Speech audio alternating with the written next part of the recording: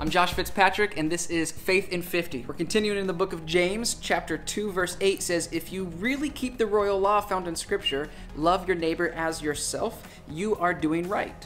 But if you show favoritism, you sin and are convicted by the law as lawbreakers. As humans, we have this natural tendency to judge people. And as Christians, that turns into our decisions to love maybe certain groups of people, but not others. And yet, right here, it shows that when you show that type of favoritism, you sin. And so, as we go throughout our week, this week, I would encourage you to join me in doing everything we can to not show favoritism, but to love everybody we make eye contact with. Everybody is created and loved by the same Creator.